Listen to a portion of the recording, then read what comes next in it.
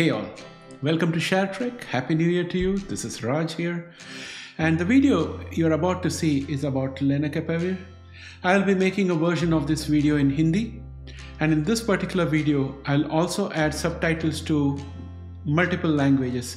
I, I, do that for most of the videos, but subtitles take at least 24 to 48 hours because first YouTube has to process it and then I have to translate it into multiple languages. So please allow for that. That said, I'm really happy to bring some good news for you. And the reason I'm making a video on lenacapavir today is because there are developments that could make it available this year in its long-lasting injectable form. That is good news for people in lesser developed countries and middle income countries as well. Uh, and that's why this video. That said, please read the disclaimer before proceeding further.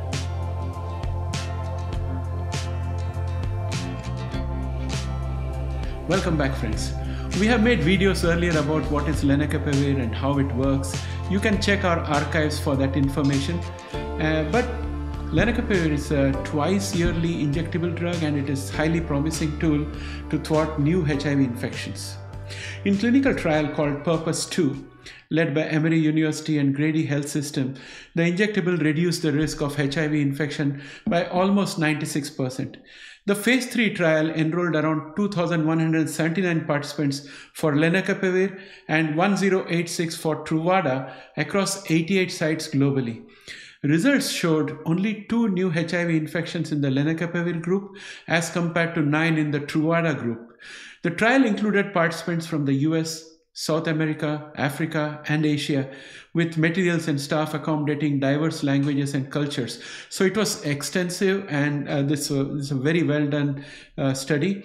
So the question is, how does lenacapavir work? I'll just give a quick recap. If you want details, you can always go to archives and look at our earlier videos. But for now, I would say that lenacapavir is a first-in-class HIV drug which means that it has a mechanism of action that has not previously been utilized for HIV treatments. So HIV doesn't know anything about this particular treatment.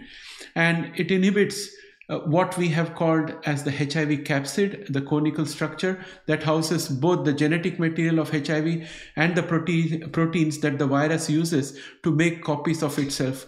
By inferring with, uh, by interfering with the capsid, the drug prevents HIV from replicating itself into host cells. And even if the virus evades this process, lenacapavir also prevents HIV from forming mature virions or virus particles that propagate the infection. So it actually has multiple mechanisms of action. And that's why uh, we investigated it not just for HIV prevention but also HIV treatment. So it is currently approved for HIV treatment for people who have limited treatment options and are multi-drug resistant, which means they have been through a lot of treatment protocols and maybe they dropped out of treatment for a while and became drug resistant. For those kind of people, it has been used uh, because uh, what the FDA would think is that, okay, these people are already in a dire situation. The harm of using lenacapavir on them before approval is much less uh, than not giving them any drugs. So those kind of cases also found a lot of uh, improvement uh, thanks to lenacapavir. Lenacapavir's uh, potential approval is expected somewhere around 2025 because that's the next question you guys will ask. Raj, when is it going to be approved?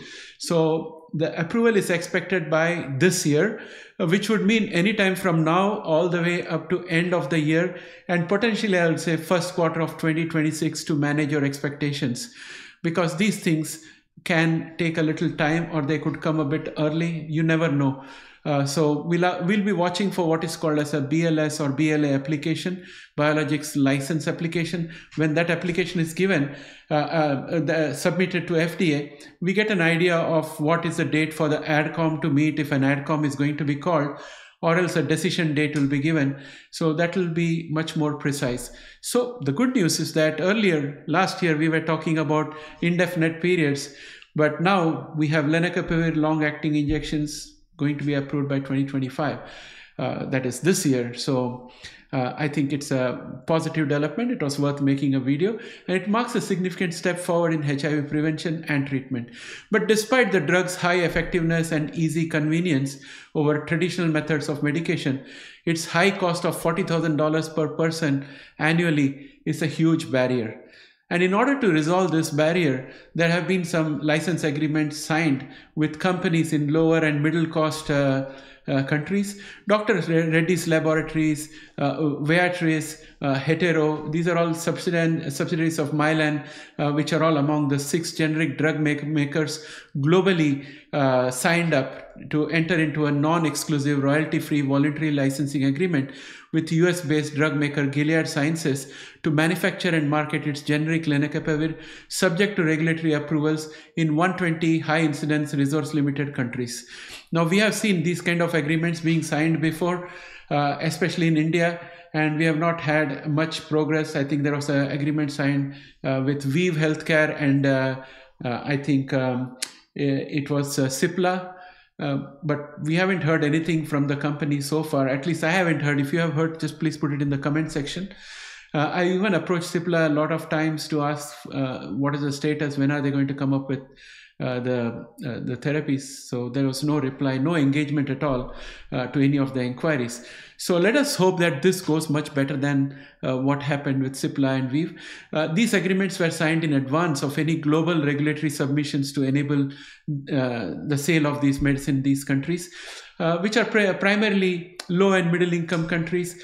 And the reason that these agreements have been signed is because it gives the companies like Reddy Labs and others opportunity to understand the therapy, uh, configure manufacturing systems, and also interface with local uh, regulatory authorities for approval of uh, lenacapavir so that when uh, uh, Gilead gets FDA approval in uh, later this year, uh, these companies can be geared up and ready to start manufacturing and distributing, assuming that they are also successful in submitting the clinical trial data to the local uh, authorities and get the approval for selling lenacapavir in those uh, local jurisdictions. So um, the other question you will ask is what is uh, what is uh, lenacapavir for? This generic version is going to be for HIV prevention, which means people who have not had HIV but are are likely uh, or on high risk for HIV, uh, they would be given lenacapavir so that it can prevent them from getting HIV.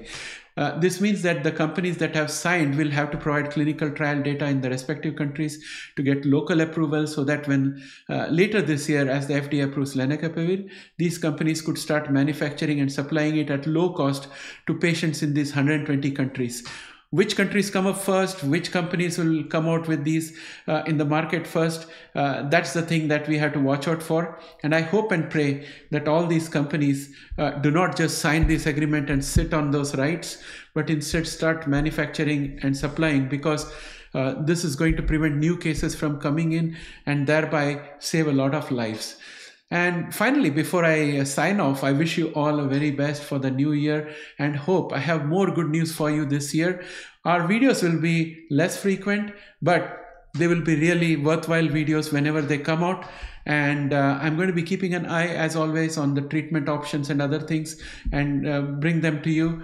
And if any of you think there is any new therapy that we have not covered in this uh, uh channel, please put it in the comment section and I'll take time to make a video on it provided it's under either uh, FDA or under uh, European uh, Medicines Authority uh, or something like that or, or, or the British uh, approval system because those are the three areas that I am comfortable looking at and I trust and I'll be able to come up with a video for you.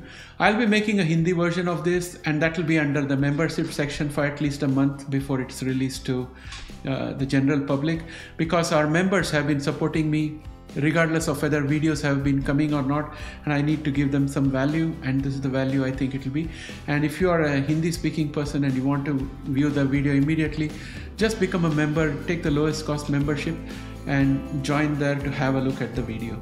Thanks and have a great day. Bye for now.